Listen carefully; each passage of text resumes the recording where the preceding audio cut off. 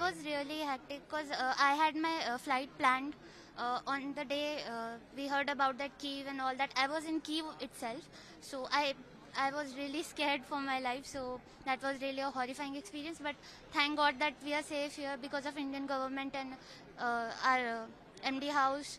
We are safe now, so it's really a relief. Crew from the plane was telling us that when plane landed, everyone was clapping and thanking them for their whole journey. Yeah, What was behind that? That everyone was clapping. because we were like they are saving our lives literally. They are saving our lives. And within one or two days they've arranged so much. So it's a good thing. We weren't expecting that so much will get be uh, will be getting uh, in two in a couple of days they've arranged. So we are really thankful to them Actually, I had uh, been. I, my flight was on 24th, basically, and that that was the day when the Kiev airport suddenly got shut down. So I had continuously been traveling for the past 48 hours in the bus and directly came to Romania.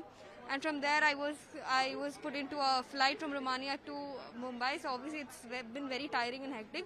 But I'm really glad that it was all organized pretty well and we came safely. I'm relaxed thanks to the Indian embassy. So it was very it was very comfortable flight. से बात करते समय आप लोगों ने एक बात कही कि आपको एहसास हुआ कि इंडियन पासपोर्ट की ताकत क्या है? क्यों हाँ। कहा आपने ये?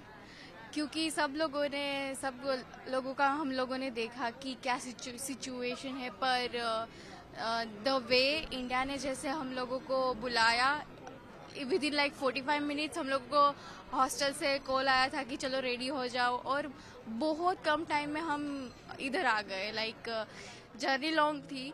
पर फिर भी इन लोगों ने बहुत अच्छे से सब कुछ time to time properly manage करके हम लोगों को इधर लाया है। So we are like feel so proud कि इंडियन के बच्चे ज़्यादा से ज़्यादा इवेक्यूएट हो रहे हैं।